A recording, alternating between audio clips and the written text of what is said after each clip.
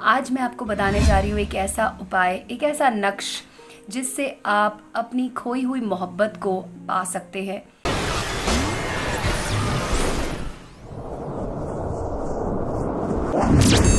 अस्सलाम वालेकुम दोस्तों, आपका स्वागत है हमारे चैनल में। आज मैं आपको बताने जा रही हूँ एक ऐसा उपाय, एक ऐसा नक्श जिससे आप अपनी खोई हुई मोहब्बत को पा सकते हैं। आपकी खोई हुई मोहब्बत आपके पास वापस आ जाएगी। चाहे आपकी प्रेमिका हो या आपका प्रेमी हो, बस आप अगर उससे सच्चा प्यार करते हैं, सच्ची मोहब्बत करते हैं तो आपकी मोहब्बत कहीं नहीं जाएगी। आपके पास तुरंत खिंची चली आएगी। तो आप अगर इस चैनल पर नए हैं तो सबसे पहले हमारे चैनल को सब्सक्राइब कर लीजिए और इस वीडियो को लाइक करके आप इसे पूरा ध्यान से देखिएगा, जिससे कि आपको पूरा तरीका पता चलेगा कि कैसे हम इस नक्श को बना सकते हैं और इस नक्श के ज़रिए आप अपने प्यार को, अपनी मोहब्बत को, अपनी ज़िंदगी में वापस ला सकते हैं। दोस्तों, कई बार ऐसा होता है कि हम किसी से बेइंतहा मोहब्बत करते हैं, लेकिन उसके बाद भी वो हमारे से, हमारी ज़िंदगी से दूर चला जाता है और हमारे हाथ में कोई कंट्रोल नहीं रहता, कोई भी आप उसको काबू नहीं कर सकते, आप उसे नहीं रोक पाते हैं और वो आपकी ज़िंदगी से दूर चला जाता है। तो आज का जो ये नक्श मैं आपको बताने जा रही हूँ, इसे अगर आप करते हैं तो आपकी मोहब्बत, आपकी ज़िंदगी में वापस आएगी। जी हाँ वो भी इतनी आसानी से आएगी कि आप खुद चौंक जाएँगे कि इतनी आसानी से आपकी मोहब्बत, आपकी ज़िंदगी में कैसे आ गई। तो आज मैं आपको बताती हूँ एक नक्श, जिसे करने का तरीका बेहद आसान है। आपको बस चाहिए होंगे इसके लिए एक कागज़ और एक कलम की ज़रूरत पड़ेगी। आइए शुरू करते हैं इस नक्श को बनाना। मैं आपको बताती हूँ इस नक्श को कैसे बनाना है। सबसे पहले एक कागज़ ले लीजिए और एक पेन ले लीजिए। उसके ज़रिए आपको इसको बनाना होगा। कागज़ पर आपको पहले, सबसे पहले एक नक्श बनाना है। तो इस तरह से आपको नक्श बना लेना है। याद रखें, ये इस तरह से चौकोर आपको नक्श बनाना है। उसके बाद यहाँ पर आपको इस तरह से दो लकीरें खींचनी है और ऊपर आपको लिखना है सेवन एट सिक्स जी हाँ सेवन एट सिक्स लिखने के बाद आपको इसके और खांचे बनाने हैं इस तरह से। ये बन जाएगा। अब जैसा कि मैं आपको बता रही हूँ, उसी हिसाब से आपको इसमें वो लिखना होगा। तो सबसे पहले यहाँ पर आपको लिखना है तीन।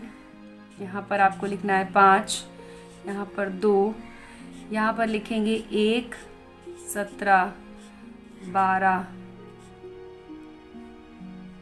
उसके बाद दोस्तों ध्यान रखिएगा कि आप जब इसको बना रहे होंगे तो आपको कुछ चीज़ों का बहुत अच्छे से ध्यान रखना होगा। सबसे पहली बात तो ये कि आपको इसे किसी को भी परेशान करने के लिए इस्तेमाल नहीं करना है। इस नक्श का इस्तेमाल सिर्फ़ और सिर्फ़ सच्ची मोहब्बत को पाने के लिए ही करना है। और तभी ये आपके लिए पूरी तरह से कारगर होगा, आपकी मदद करेगा। तो इस तरह से आपको इसका इस्तेमाल करना है। ये नक्श आप बना लीजिए कागज़ के ऊपर और उसके बाद आपको इसे इस तरह से जब आप लिख लेंगे, याद रखिएगा जिस तरह से जिस सीक्वेंस में मैंने लिखा है, आपको भी बिल्कुल वैसे ही लिखना है। इसको बिल्कुल भी चेंज नहीं करना है। ये लिख लिया आपने और उसके बाद यहाँ पर आप इसको लिख देंगे। इसके बाद बीच में यहाँ पर आपको लिखना है, अपनी जो भी आपका प्रेमी है या प्रेमिका है, आपको उनका नाम यहाँ पर लिखना है। तो इस तरह से यहाँ पर आपको उनका नाम लिख देना है और नीचे, इसके ठीक नीचे आपको लिखना है बिन। बिन जो है वो आपको लिखना है अपने नाम के लिए। बिन लिखकर फिर आपको लिखना होगा अपना नाम। जी दोस्तों, आप अपना नाम यहाँ पर लिख सकते हैं और यहाँ पर इस जगह पर आपको लिखना है बिनते।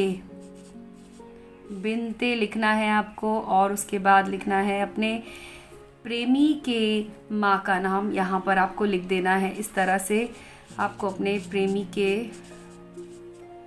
माँ का नाम आपको इधर पर लिखना है। और इस जगह जहाँ पर आपने अपना नाम लिखा था, वहाँ उसके ठीक नीचे आपको अपने अबू का नाम लिखना है। अबू या आप उनके पापा का नाम यहाँ लिख सकते हैं। और इस तरह से आपका ये जो नक्श है, ये बनकर तैयार है। अब आपको क्या करना है, मैं आपको बता देती हूँ। इसको आपको अच्छी तरह से फोल्ड करना है। जी हाँ तो इस तरह से इस कागज़ को आपको लेना है और पूरी तरह से इसको आपको मोड़ देना है। ऐसे करके ध्यान रखिएगा। जिस तरह से मैं कर रही हूँ, वही आपको करना होगा। इस तरह से पूरा आपको इसे रोल करना है। दोनों तरफ़ से आपको मोड़ना है इसको और उसके बाद इस तरह से ये बन जाएगा आपका।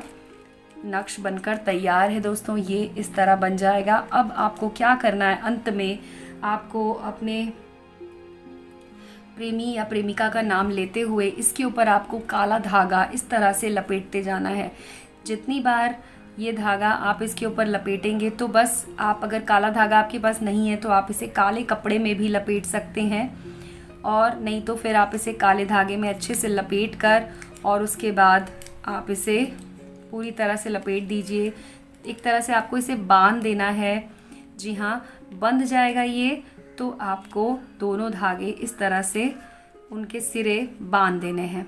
जी हाँ जब ये बंधेगा, उसके बाद आपको एक काम और करना है दोस्तों। ये देखिए, मैंने इसको अच्छे से बाँध दिया है। इसके बाद आपको क्या करना है? इसको आपको रात के समय अपने बिस्तर के पास रख कर सो जाना है। एक रात के लिए आपको इसे अपने पास रखना है और उस पर तकिया रख कर या अपने बिस्तर के नीचे आपको इसे रख देना है और उसके बाद उसके ऊपर आपको सो जाना है। एक रात के लिए। अगले सुबह जब आप उठेंगे तो उठने के बाद आपको सबसे पहला काम यही करना है, इसको ले जाना है और आपको एक ऐसी सुनसान जगह ढूंढनी है जहाँ पर आप इसे ले जाकर इसे अच्छे से दबा देंगे। इसे किसी पत्थर के नीचे दबा देना है आपको।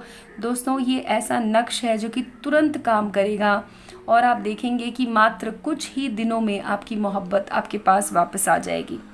दोस्तों, अब आपको बस एक और काम करना है कि हमारे वीडियो के कमेंट सेक्शन में आपको अपना नाम लिख के भेजना है, जिससे कि हम जब दुआ करेंगे तो उसमें आपका नाम शामिल होगा और आपका काम जो है वो जल्द से जल्द हो, इसकी दुआ की जाएगी।